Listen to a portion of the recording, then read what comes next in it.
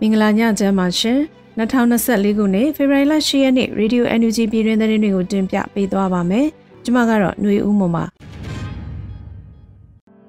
အကြံဖတ်စစ်တပ်ဟာရက်ဆက်တက်တဲ့လူတွေနဲ့စုဖွဲ့ထားတဲ့အဖွဲ့အစည်းဖြစ်တယ်လို့ဆိုတဲ့အကြောင်းအရာကိုတင်ပြပေးပါမယ်။ဂျမ်ဘတ်စစ်တပ်ဟာရက်ဆက်တက်တဲ့လူတွေနဲ့စုဖွဲ့ထားတဲ့အဖွဲ့အစည်းဖြစ်တယ်လို့ပြည်ထောင်စုဝန်ကြီးဒေါက်တာဒူးကောင်ကဆိုပါတယ်။ဖေဖော်ဝါရီလ9ရက်ပြည်ထောင်စုဝန်ကြီးဒေါက်တာဒူးကောင်ကဆိုရှယ်မီဒီယာမှာမှတ်ချက်ပြုပြောပါတယ်။ ဒီလောက်ရက်ဆက်တက်တဲ့လူတွေနဲ့စုပွဲထားတဲ့ဖွဲ့အစည်းနဲ့တနိုင်ငံနဲ့အတူရှိနေတဲ့ဆိုတဲ့ခံစားချက်နဲ့တိုင်ငယ်မိတယ်လို့ခံစားရတယ်။တစ်ဆက်တည်းမှာငါတို့ရှင်းကိုရှင်းထုတ်တဲ့လူဖွဲ့စည်းဆိုတာလဲသိကြစေတယ်လို့ဆိုပါတယ်။2023ခုနှစ်နိုဝင်ဘာလ9ရက်ရန်ကုန်မြို့နယ်မြောက်ခင်ရရွာ Alliance Operation တွင်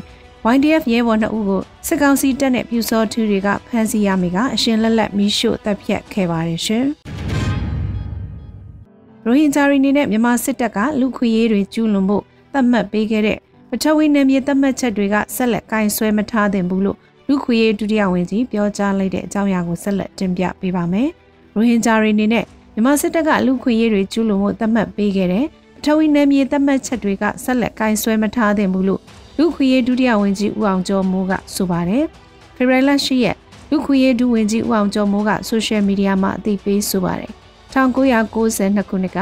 ဗိုလ်မှူးကြီးအဆင့်ရှိသူတို့ကကိုကဲရဲမှုယာရုရယူကရိုဟင်ဂျာတွေပေါ်လူသားဖြစ်မှုစန့်ကျင်တဲ့ရာဇဝမှုများလူမျိုးတုံးတပ်ဖြတ်မှုများရှိန်ဟုန်မြင်ပြီးဆောင်ရွက်ဖို့တက်ရဲလူမှုကြီးကြပ်ရေးနဲ့အကောက်ခွန်စသည့်ဌာန၄ခုဖြင့်ဖွဲ့စည်းပေးခဲ့ပြီးဘူးတီတောင်မောင်တော်ဒေတာမှာနယ်မြေ၉ခုသတ်မှတ်ပေးခဲ့ပါတယ်။ဒါအပြင်ရိုဟင်ဂျာတွေမတရားဖမ်းဆီးတာတပ်ဖြတ်တာတွေကြဲကြဲပြန့်ပြန့်ဆောင်ရွက်ခဲ့ပါတယ်။ဒါကြောင့်ရိုဟင်ဂျာတွေအနေနဲ့မြန်မာစစ်တပ်ကလူခွင့်ရေးတွေကျူးလွန်မှု သတ်မှတ်ပေးခဲ့တဲ့ပထဝီနယ်မြေသတ်မှတ်ချက်တွေကဆက်လက်ကိုင်းဆွဲမထားတဲ့အရာဖြစ်ပါတယ်လို့ဆိုပါတယ်။နယ်မြေများကိုဘိုးဘွားစင်ဆက်သုံးဆွဲမှုတိုင်းကျေးရွာဝိသေသနာမည်တွေကိုသာဆွဲကင်သုံးဆွဲပြီးစစ်တပ်ရဲ့နယ်မြေသတ်မှတ်ခလူမျိုးသုံးတပ်ဖြတ်မှုများလူသားမျိုးနွယ်ပေါ်ကျူးလွန်ခဲ့သည့်ရာဇဝတ်မှုများခဲ့တဲ့အရာတွေကိုအချက်လက်စူဆောင်းရေးမော်ကွန်းတိုင်းအတွက်တသက်မှတ်တမ်းစူးစီးထားဖို့သာလူကြောင့်တိုက်တွန်းလိုတယ်လို့ဆိုပါတယ်ရှင်။ ပြည်သက်နိုင်ငံလီယွန်မြို့၌လီယွန်မြို့တော်ဝန်ရုံးကစီစဉ်ခဲ့သောမြမအရေးဆွေးနွေးပွဲပြည်သက်နိုင်ငံဆိုင်ရာ NUG ကိုယ်စားလှယ်တက်ရောက်တဲ့သတင်းကိုလည်းတင်ပြပေးပါမယ်။ပြည်သက်နိုင်ငံလီယွန်မြို့မှာလီယွန်မြို့တော်ဝန်ရုံးကစီစဉ်ခဲ့တဲ့မြမအရေးဆွေးနွေးပွဲကိုပြည်သက်နိုင်ငံဆိုင်ရာ NUG ကိုယ်စားလှယ်တက်ရောက်ခဲ့ပါတယ်။2024ခုနှစ်ဖေဖော်ဝါရီလ9ရက်နေ့မှာပြည်သက်နိုင်ငံလီယွန်မြို့၌လီယွန်မြို့တော်ဝန်ရုံးကစီစဉ်ခဲ့တဲ့မြမအရေးဆွေးနွေးပွဲတည်းကျင်းပခဲ့ပါတယ်။ဆိုပါဆွေးနွေးပွဲမှာ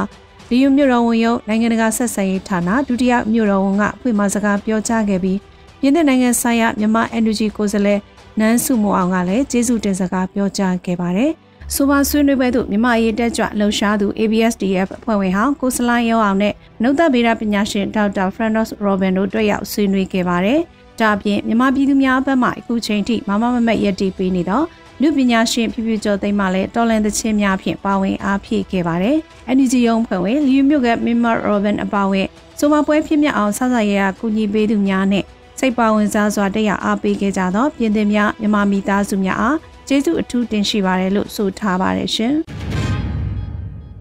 ကဘာမကြေဘူးလို့ရန်ကုန်မြို့ကြည်မြနိုင်ပန်းမီနီနန်းမှာဟစ်ကျွေးတဲ့တရင်ကိုတင်ပြပေးပါအောင်မယ်။ကဘာမကြေဘူးလို့ရန်ကုန်မြို့ကြည်မြနိုင်ပန်းမီနီလန်းမှာဟစ်ကျွေးခဲ့တယ်လို့တရင်ရရှိပါတယ်။ ဖေဖော်ဝါရီလ10ရက်နေ့မှာပတ်မီနီလန်၌ကဘာမကြေဘူးဆိုတဲ့စာရန်ကင်ဆောင်ပြီးဖက်စစ်စန့်ကျင်လှုပ်ရှားမှုတစ်ခုကိုဖက်စစ်များဝန်ရံထားတဲ့ကြားက GSC အင်အားစုတွေကပြုလုပ်ခဲ့ကြတယ်လို့သိရပါဗျ။ရန်ကုန်နေရအနှံ့ပြလူလူကြား၌လည်းဖက်စစ်စန့်ကျင်ရေးတက်လက်နှိုးဆော်ခြင်းနဲ့လှုပ်ရှားမှုများပြုလုပ်ခဲ့ကြပါတယ်။ဖက်စစ်တွေရဲ့ရက်စက်ရုံမှမှုအတွက်ကဘာမကြေဘူးတိုက်ပွဲရှိရင်အောင်ဝဲရှိတယ်။ရေးတော်ပုံအောင်ရမည်စသည်တို့ကိုကြွေးကြော်ခဲ့ကြပါတယ်ရှင်။ ခုတင်ပြခဲ့တဲ့သတင်းတွေကို Radio NUG သတင်းတောက်မင်းတီဟန်နဲ့ကိုခန့်တို့မှပေးပို့ထားတာဖြစ်ပါတယ်ရှင်။